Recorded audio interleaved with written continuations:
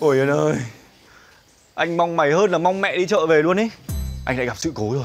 Cứ đều đặn mỗi quý một lần chia tay người yêu. Cả làng người ta đang đồn ầm lên cái kia. Đấy con nhà tử tế chả ai làm như vậy. Anh đã nói rất rõ với em ngay từ những ngày đầu mà mình yêu nhau rồi Phải không? Anh đã nói rất rõ Là trong chuyện tình cảm Anh có hai nguyên tắc. Một là Yêu anh, anh ok. Hai là? Đòi cưới anh, anh không ok. Đấy Em nhớ như thế cơ mà. Thế tại vì sao? Ngày hôm nay em sang tận nhà anh khóc lóc. Rồi còn định tự tử nữa. Đùa. Em yêu đương thiếu chuyên nghiệp thế. Thế thì không đòi cưới nữa. Yêu tiếp là được chứ gì?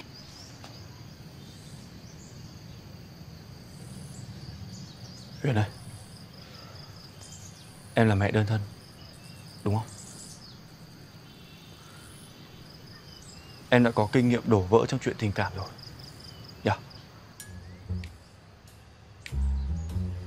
Từ nãy đến giờ đừng hóng. Em hiểu rõ câu chuyện rồi chứ? Em ra em khuyên con bé kia giúp anh một cái, Cho nó tỉnh ngộ ra được không? Bây giờ anh dạy nó kiểu gì? Nó nghĩ nó nhất làng đấy. Trong khi con nhà người ta ấy Bằng cái cữ này này Đã là công thành danh toại rồi Con cháu đầy đàn rồi. Đằng này Ngủ trương xác lên Bố hầu tận miệng mà cũng không xong. Thế thì đứng đấy mà tự vỗ ngực là ờ, Ta đây có năng lực. Có mà thiểu năng ấy. Ơ kìa. Thật Đầy đứa nhà điều kiện như nhà mình. Thế mà chúng nó còn ăn chơi đua đòi Hút chích loạn cả lên. Cháu đây, Con đây. Sống cực kỳ lành mạnh, Không hút, Không hít, Chỉ có mỗi đá gà búng tai thôi. Rồi cái chuyện tình cảm nó hơi bị xoắn quẩy một tí. Thế mà bị ông với bố cứ nói sơi sơi ra. Thật, Nhiều khi ức chả biết sống thế nào luôn. Bây giờ cứ lấy vợ sinh con như người bình thường đi. Có gia đình, khác là sẽ trưởng thành. Mày chỉ cần để học được một tí tí tí của cái Yến thôi, Là nhà này có phúc rồi. Cái Yến thì nó có cái gì hơn cháu đâu. Nó cũng đang ến lỏi cả mắt ra. Sao mà không bằng nó? Ép nó lấy chồng đi. Này này này này này. Đừng có động chạm gì đến cái Yến Nó chậm chồng chẳng qua là vì nó còn lo công danh sự nghiệp. Thế còn anh có cái gì? Ước mơ không tiền tài không danh vọng không. Đấy đúng là còn hừ tại bố. Ráng làm xong đi. Một lát dẫn đi ăn. Sao mà trụ đến trưa ạ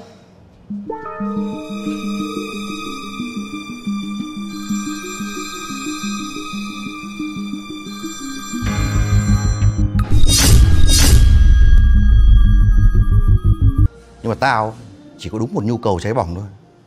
Đấy là lấy vợ. Đang yên đang lành độc thân sướng muốn chết không chịu. Thích đâu gông vào. Kệ tao. Còn cả mày nữa đấy. Để vài năm nữa đ- đ- đ- hâm. Tất kìa Tao nói thật đấy. Mày bây giờ công ăn việc làm ổn định rồi. Chờ gì nữa? À, ờ, Buồn nốt cái chỗ dở Thế là quả sếp mới ở công ty là anh nào? Nam hay nữ Nhìn mặt này là nữ đúng không? Nào, Ngon không? Ngon thịt không? Có, có Facebook không? Cho ta search xem cái quả giao diện cái. Tôi ghét cô từ quá khứ Ghét tới tận bây giờ. Cho nên tôi đang tìm cách tác động vào nhân viên Chia rẽ nội bộ Để tôi được ngồi vào chiếc ghế đó. Tóm lại tôi rất ghét cô. Không sao Nhưng để tôi nói cho anh nghe một điều. Thứ nhất Tôi không yêu người mà tôi thấy không xứng đáng. Thứ hai Giữa tôi và anh chỉ có thể là đồng nghiệp Hoặc đối thủ.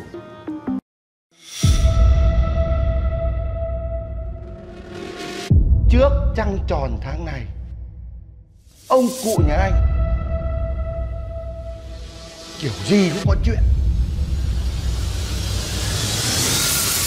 Nhất định Hai anh em phải lập gia đình nữa nhá. Không hai lời. Anh là trưởng Nam, anh là cháu Đích Tôn Anh đi mà lấy vợ để con nó có cái gì hơn cháu đâu Nó cũng đang ế lòi cả mắt ra.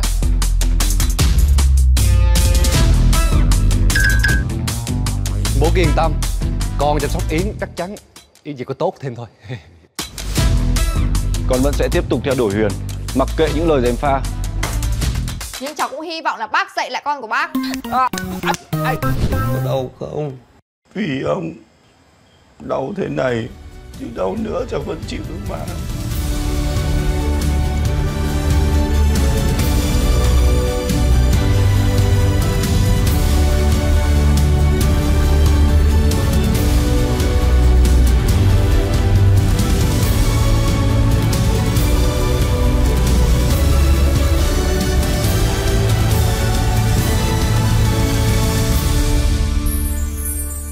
con nói thẳng luôn là con không lấy vợ đâu.